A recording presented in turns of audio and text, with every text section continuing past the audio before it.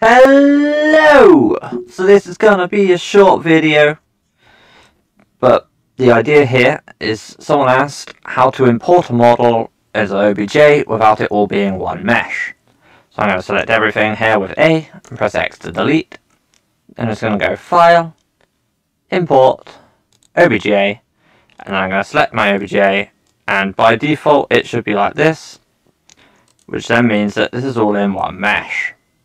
Obviously this is not ideal because you might want to remove the hairs, or remove the hats and want to attach it to a rig, or anything like that. So, what I'm going to do is get rid of this again. Now the idea is you just go import OBJ, select it, and then under geometry, on the side here, you just need to click split by group and click import. And now it'll all be separated.